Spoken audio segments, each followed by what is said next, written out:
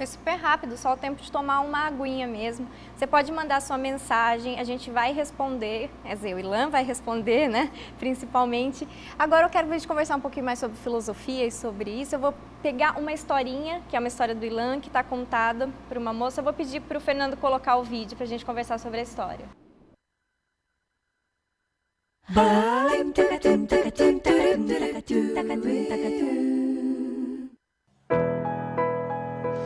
Era uma vez uma menina chamada Laura.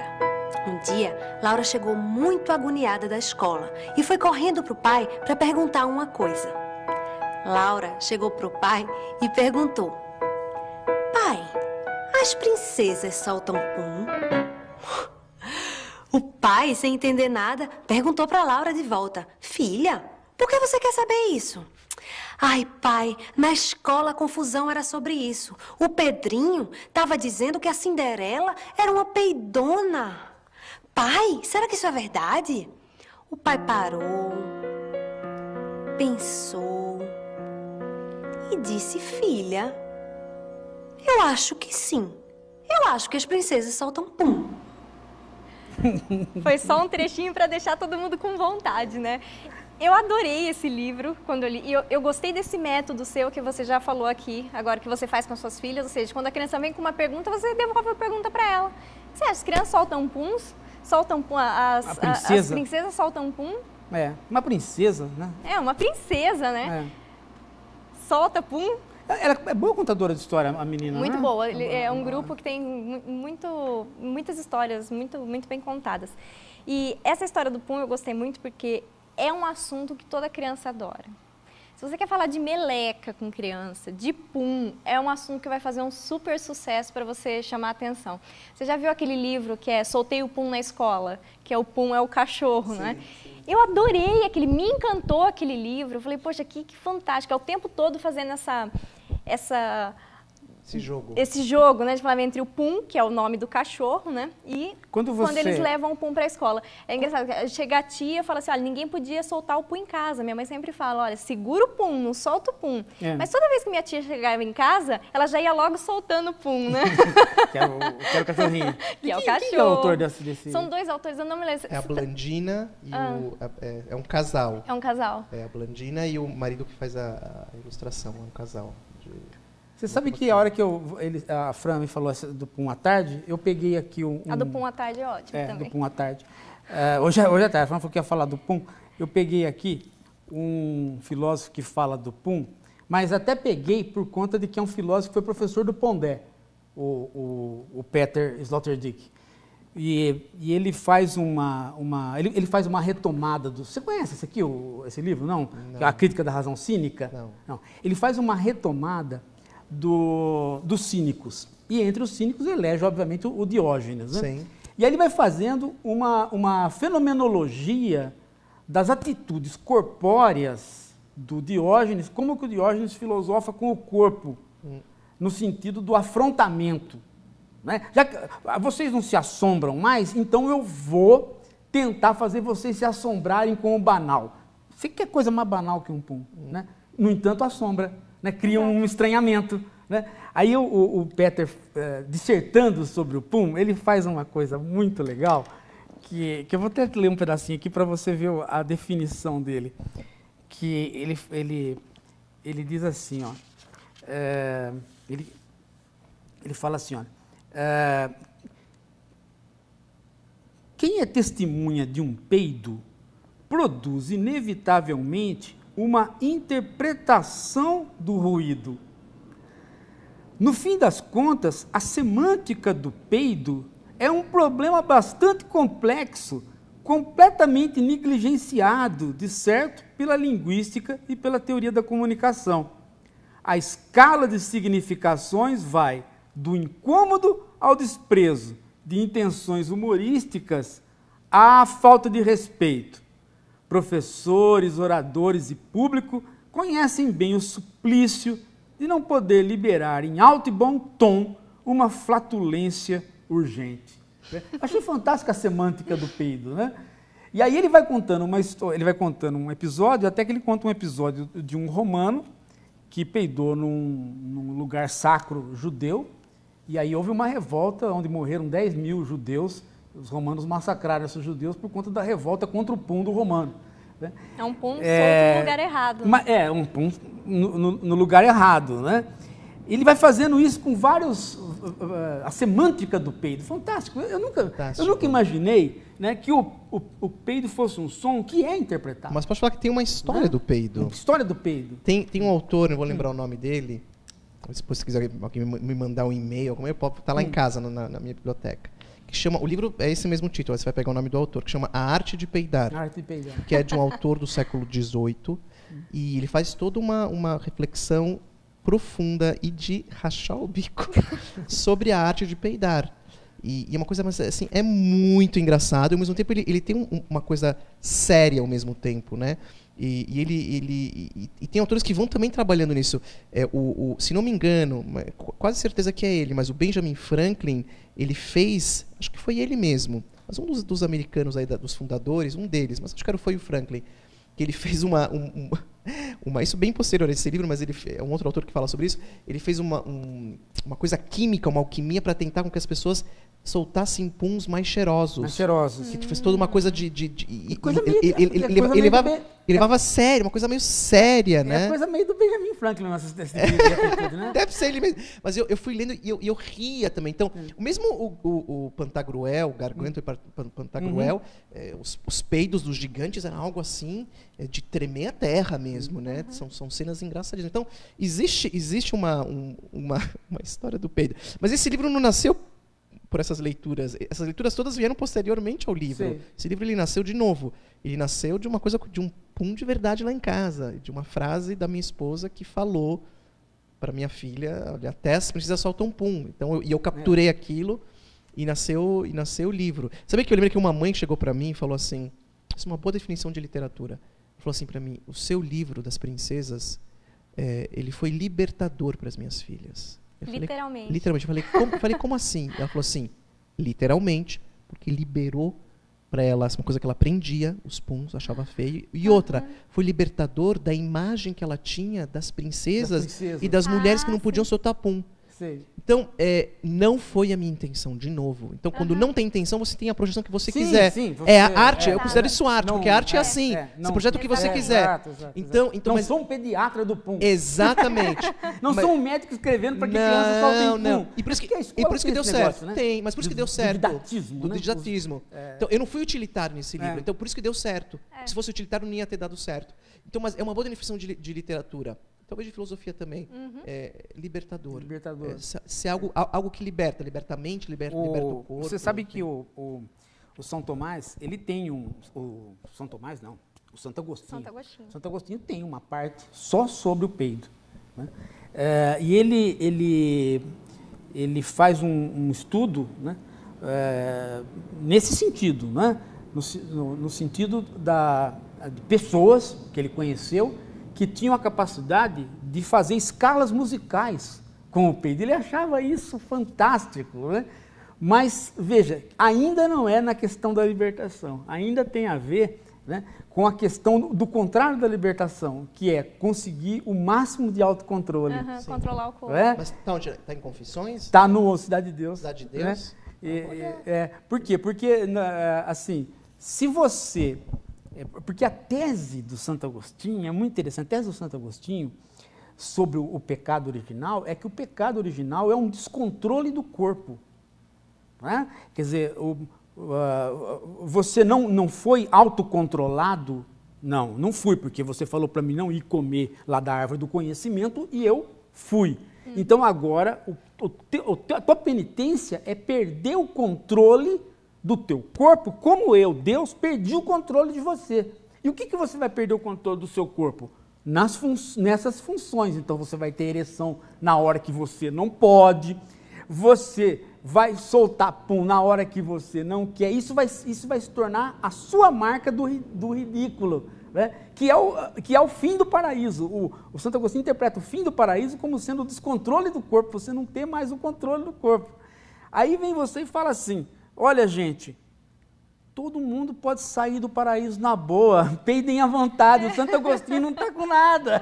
Eu, veja, eu, eu lendo você, né? né? Eu lendo você, né? O, filó, o, o, filósofo adulto lendo o livro de criança. Né? É, porque quando as pessoas perguntam sobre como fazer filosofia para crianças, eu acho exatamente que lendo esse livro, vendo essa história, isso que você acabou de falar, de ir buscar depois uma história sobre o Pum, a leitura e literatura infantil faz isso com os adultos, quando os adultos leem uma história, e faz isso com as crianças também. Elas querem saber mais. Poxa, como assim? História do Pum? Vão procurar saber sobre a história a, do Pum. A princesa é um tipo de, de santinho. Ideal. É, um, é, é um, um, tipo de santinho. ela é sim. é imaculada, ela não pode Exato. fazer certas coisas e ela está no paraíso. Exato. Como é que ela volta para a terra e pisa esse chão que a gente tem que pisar todo dia? É, eu é? vejo isso com duas histórias. Uma com a história do Pum e outra com a história do Bandeira, sobre que como foi o, o, depois do até Felizes para Sempre, né? O que acontece depois do Felizes para Sempre. Depois do Felizes para Sempre, é. né? É. O... Essa aí é para...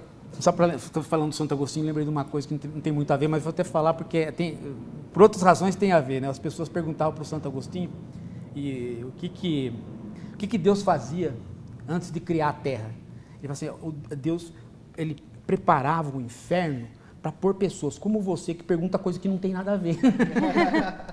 Ou sobre a vara. Não, e o Lutero falava a mesma coisa que o Lutero falou assim: Deus fica numa floresta, cortando um monte de galho para dar sova em criança que faz pergunta que não tem nada a ver. Só lembrando, né? Mas a história puxa. Eu de uma, uma, uma, história, uma história puxa. É, eu lembrei de uma história do Santo Agostinho também. É e, que, eu, que eu li muita coisa dele. Essa do Pum não que eu vou procurar, que eu fiquei louco por saber. Mas é, eu, eu, lembro de uma. Você deve conhecer do sonho que ele teve, que ele era uma, que, é de uma criança com um balde com uma cumbuca pegando água do mar. Não, não, não, não, conheço essa. Uma história belíssima hum. dele. E que ele estava tentando, estava um momento angustiado de compreensão de Deus, de todas aquelas questões que. Ah, que, essa está no Confissões. Que está nos Confissões. Tá no, eu lembro, eu lembro. E aí. E, e aí ele tem um sonho de um menino com uma, com uma canequinha tentando, tentando encher o mar, o mar inteiro naquela caneca, né? E, e aí vem alguém e fala, mas como, né? Como? Não dá, não dá para fazer isso. E ele percebe que realmente que, que, que, Deus é uma coisa tão grandiosa que na verdade não adianta, tem que mergulhar. Tem que ir lá e mergulhar. A razão, a razão tem coisas que não, não chegam. Então a função mesmo é que, é, que, é que a criança mergulha. É isso. Por isso que tem uma criança lá, por isso que eu lembrei. Né? Quer dizer, acho que a infância tem isso, que a infância ela mergulha. Isso, é isso é um ato filosófico. Exatamente. A criança ela não fica, ela, ela não é. fica na cumbuca, é. vou, vou, não, ela vai lá e mergulha. E, tomar, e, e a, nós adultos somos histéricos e neuróticos, vai ficar com gripe. Você, você, vai, se, você vai se afogar. Uhum. Você vem para cá, tem tubarão, tem piranha, não sei o quê. É. E que essa coisa do controle, a gente quer tirar ela, ela desse momento, e é um momento. É. E tem um lado que é muito do, da, da, civilização, civilizatório, e que tem essa, esse efeito colateral, né? Dela, às vezes, falar, nunca mais quer mergulhar, mas já fiquei traumatizado. É. Algumas conseguem superar, outras não, né? É, porque a gente tenta fazer esse corte também de, assim, vamos introduzir a lógica, o racional, vamos levar para a escola para educar, para ela se manter sentada durante tanto é. tempo, segurar o pum, quer dizer, né? É, Mas isso agora... no contexto geral dos, dos gregos tem, tem um nome, chama é sofrosine, né?